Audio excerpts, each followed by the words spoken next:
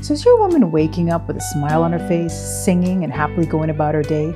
Many women report a complete change in their well being when they're fully satisfied orally by their partners. Husbands have reported that after years of a sexless marriage or decline in sex, the addition of oral pleasure has caused a transformation in their lives and in the bedroom. And get this research shows that increased sexual satisfaction leads to positive health benefits and reduced stress. So, sexual satisfaction with a focus on her pleasure has tremendous benefits for you and your queen. Now, many men admit that they love giving oral sex, but how good are you? Your queen may not want to criticize your technique or how you perform oral sex, and this will determine whether your queen is fully sexually satisfied or not. Now, many men rely on what they learn from porn videos, but like anything worth doing in life, pleasuring your queen requires practice.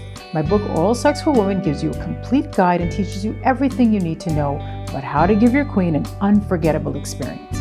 Become an oral pro. Get my book, Oral Sex for Women.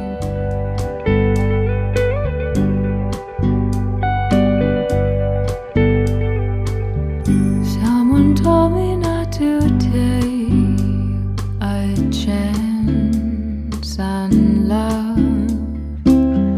Someone told me.